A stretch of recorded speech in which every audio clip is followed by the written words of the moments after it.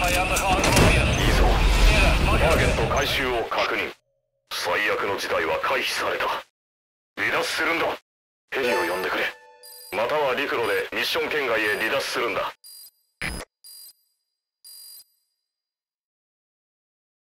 よしミッション完了だ。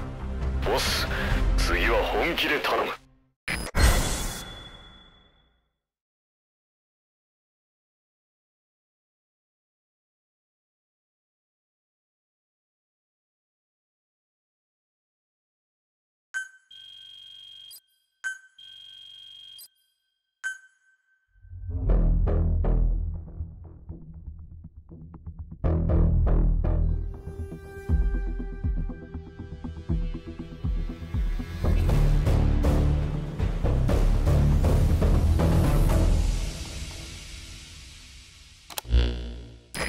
スコードトーカーの研究資料は無事回収。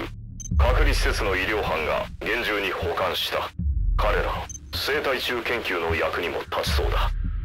これでもう奴らの目に触れることはないだろう。